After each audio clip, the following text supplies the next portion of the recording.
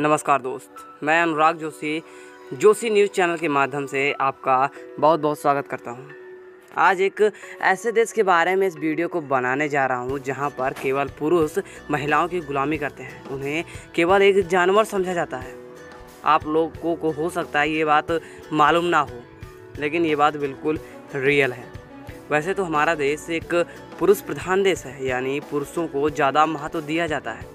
लेकिन एक ऐसा देश है जहाँ पुरुष नहीं, बल्कि महिलाएँ राज करती हैं और पुरुषों को गुलाम बनाया जाता है। जी हाँ सही सुन रहे हैं आप। ऐसा ही एक देश है जहाँ पुरुषों को एक जानवर से ज़्यादा कुछ नहीं समझा जाता। आपको बताते हैं कि वो कौन सा देश है। उसके पहले कर लो हमारे इस चैनल को सब्सक्राइब। वीडियो को शेयर दोस्त ज़रूर कर देना, क्योंकि यहाँ पर ऐसे ही वीडियोज़ के आने का सिलसिला कभी ख़त्म नहीं होता। दरअसल, हम बात कर रहे हैं इतर वर्ल्ड किंगडम की, यहाँ की मूल नागरिक पुरुष नहीं, बल्कि महिलाएँ हैं, और पुरुष यहाँ की महिलाओं की गुलामी करते हैं। यहाँ पुरुषों को जानवर ही समझा जाता है। इससे ऊपर वो कुछ भी नहीं है। पुरुषों को महिलाएँ गुलामी के लिए रखती हैं। गुलाम को अगर शराब पीना होता है तो पहले मार्किन के पैरों पर डाली जाती है। और इसके बाद ही गुलाम उसे पी सकता है। दूसरे देश से आने वाले पुरुषों को यहाँ रानी के बैठने के लिए एक सोफा बनना पड़ता है।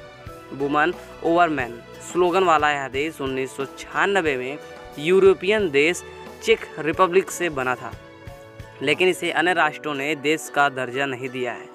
इस देश का पूरा शासन महारानी पेट्रिसिया वन के हाथों में है और उनको ही देश के कानून में परिवर्तन करने का अधिकार है। हालाँकि महारानी पेट्रिसिया का चेहरा आज तक बाहरी दुनिया में किसी ने नहीं देखा है। तीन हेक्टेयर यानी सात दशमलव चार एकड़ की ज़मीन पर बने इस देश की राजधानी ब्लैक सिटी है और इसका अपना झंडा करेंसी, पासपोर्ट और पुलिस फोर्स है। देश में छोटी झील, घास के मैदान, over track, swimming pool, restaurant, night club और कई इमारतें हैं। मुख्य इमारत महारानी का महल है।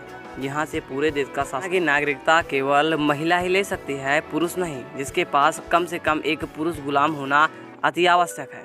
उसे पाँच दिन के लिए महल में रहना पड़ेगा, वो भी सारे नियमों का पालन करते हुए महारानी के साथ। अगर आप इंडिया में पैदा हुए हो, एक मर्द के रूप में तो अपने आप को बहुत बड़े भाग्यशाली समझो। अगर आप वहाँ पर पैदा हुए होते तो आपको मात्र एक गुलाम समझा जाता है और एक जानवर की तरह बर्ताव किया जाता है। लेकिन दोस्त, मैं एक चीज़ और कहना चाहूँगा कि इस दुनिया में, चाहे वो पुरुष हो, चाहे वो महिलाएँ दोनों को खुदा ने अपने हाथों से बराबर समय में बनाया है और बराबर इज़्ज़त से बनाया है। अगर आप एक पुरुष हो, इस दुनिया में आए हो तो बिना स्त्री से आप असंभव हो। और एक स्त्री अगर इस दुनिया में आई है तो भी एक बिना पुरुष के असंभव है।